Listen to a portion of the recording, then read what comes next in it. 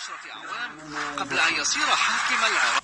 كان فيها قريبه ونائبه صدام حسين صاحب السلطة الفعلي. انتظر صدام نحو عشرة أعوام قبل أن يصير حاكم العراق.